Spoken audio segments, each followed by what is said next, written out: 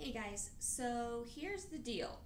When it comes to your feet, the stronger your feet are, the less chance of pain we can get up our chain. Being that the feet are the bottom of us, it controls, um, it has a lot to do with our mechanics in our knees, in our hips, and in our spine. So I'm going to show you some things today to help activate our feet a little bit more. Anytime you wear shoes, basically it shuts the little muscles down in our feet that help support our foot. So we're going to do a little sequence today to start getting those muscles firing a little bit better, get them a little bit stronger um, to help support us both when you're in your shoes and when you're not in shoes. So let me adjust the camera a little bit so you can actually see my foot. Alright, so first things first, um, we just need to kind of wake them up. So after you've been in your shoes all day, you're at the gym, you want to start doing some things, um, we're going to start by waking up our foot. So all you're going to do is you're going to take a fairly firm ball.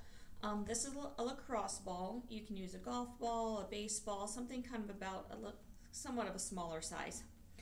And all you're going to do is just roll it back and forth on your foot. You're going to do about two minutes on each foot. basically that just helps turn it on a little bit. Once you finish that, we're going to do what I call arch ups. And what you're going to do is with your foot flat on the floor, and you can do this seated on the floor, you can do it sitting on a chair, whichever you prefer. You're basically going to try to pull this part of your foot up without taking your heel or your forefoot off the floor.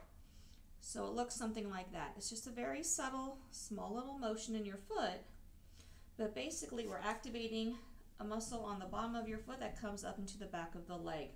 What you're trying to not do is there's a muscle that comes down the front here. We're trying not to get that to pop out. So just very subtly, you're going to try to pull that up, holding it for a couple seconds and letting it back down. And back down. I advise doing those for about 20 times. And then what you're going to do are is what's called toe yoga. You're going to keep your foot flat on the floor. You're going to pick all your toes up so the ball of your foot and the heel of the foot are still down.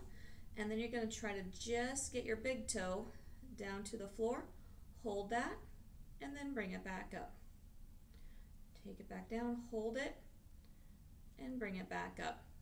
In the beginning, you'll probably be able to do maybe five to 10 of these before your foot starts fatiguing. Um, but as you work, you should be able to get up to more. After you're done with that, then you're going to go to the little toe.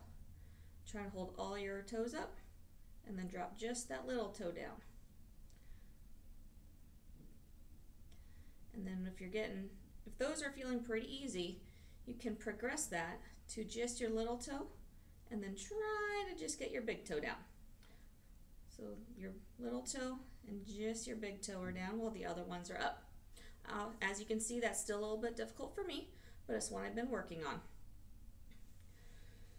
So try doing that um, at least every day to try to get those feet working a little bit better. And you should start noticing a little less pain in your knee, feet, your knees, and your hips, and possibly your back, depending on um, how strong your feet are getting.